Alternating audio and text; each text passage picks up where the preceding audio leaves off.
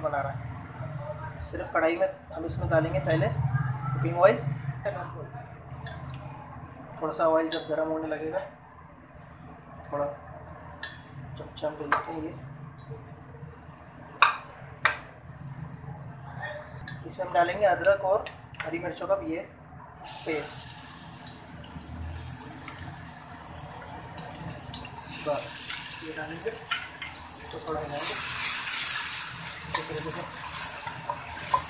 Special गुर्दा fry थोड़ा सा इसको। मेहमान बना रहे हैं। और इसमें हम डाल देंगे अपना ये गुर्दा थोड़ा सा हमने बॉईल कर लिया था उसको पहले ढाई सौ ग्राम है ना हाँ ढाई सौ ग्राम तो मैं थोड़ा सा बॉईल इसलिए करे ताकि इसकी निशान वगैरह वो निकल जाए। गुर्दे की थोड़ा सा फ्लेम को हम तेज करेंगे।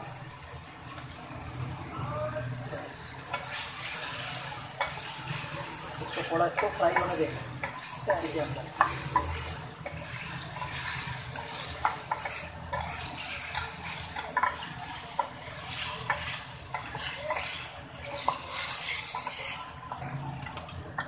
चले अब इसमें जाएगा थोड़ा सा नमक नमक बस थोड़ा सा नमक जाएगा और इसमें जाएगा ये पिसा हुआ मोटा धनिया पाउडर थोड़ा जाएगा और हम इसमें क्या डालेंगे टमाटर बारीक कटे हुए। और टमाटर आ रहा है दो टमाटर। दो टमाटर। कुटी भी लाल मिर्च जाएगी। बिल्कुल थोड़ी सी।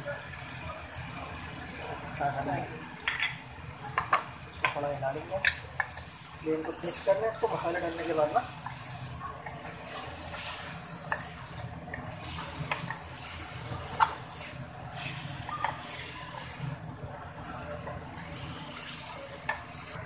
अच्छा अब जो है हमें ये आधे से भी थोड़ा मतलब कम कप पानी है वो इसमें जितना से ही डालना है थोड़ा सा सही। बचाना है और हमें करना है ढक्कन लगा दें और फ्लेम को थोड़ा और कम कर दें बस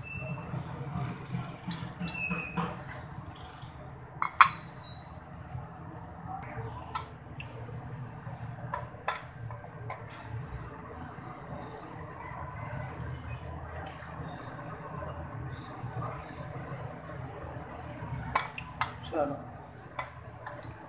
टमाटर इसमें गल गए जो हमने डाले थे और थोड़ा पानी डाला था उसके साथ ये देखें। अच्छे से ज़बरदस्त हाँ अच्छा लुक आया इसमें जो थोड़ा बस टमाटरों का पानी है वो। और हम इसको पानी से खुशक होने देंगे इसी फ्लेम के ऊपर। खुशक हो देखें कि इसका पानी जो खुशक हो गया ना जी। तो अब हम इसमें डालेंगे थोड़ी चुटकी। इसे जीरे की बस, थोड़ी सी। और इसमें जाएगा ब्लैक पेपर थोड़ा सा।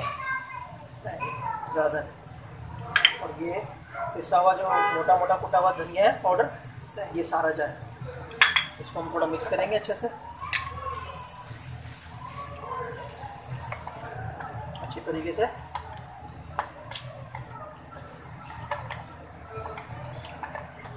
अच्छा ये भून रही है। थोड़ी सी क्रीम जो है, उसके अंदर भी हम शामिल करेंगे बनाई के दौरान। थोड़ी सी, ज़्यादा नहीं। और अब इसको मिक्स कर लेंगे देखा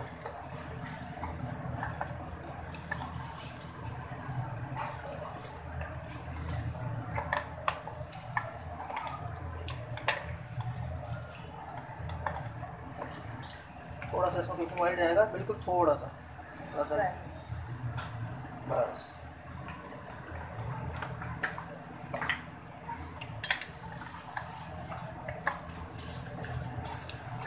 अब बुनाई जो है इसकी सही से करनी है बिल्कुल। हाँ। जिसका किसान का कोई पानी ना रहे। सही बुनाई का तो एक अपना हाँ। मज़ा होता है। बुनाई बहुत अच्छे तरीके से करनी है अभी थोड़ी सी और करेंगे। तब तक तेल थोड़ा और अलग हो जाएगा ऊपर नहीं आ जाएगा। पर लेकिन हिलाते रहना नहीं तो नीचे लग जाएगा। ये।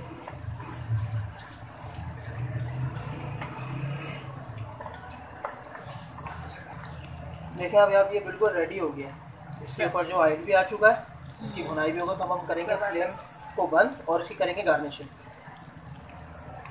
ठीक है? गार्निशिंग में जो है हम इस पर डालेंगे। हरी मिर्चा कटी हुई डालेंगे थोड़ी सी ठीक है और थोड़ा सा हरा धनिया चॉप हुआ हुआ। उसके ऊपर डाल दें। चले, ये हमारा सिंपल सा गुर्दा फ्राई भी रेडी हो गया।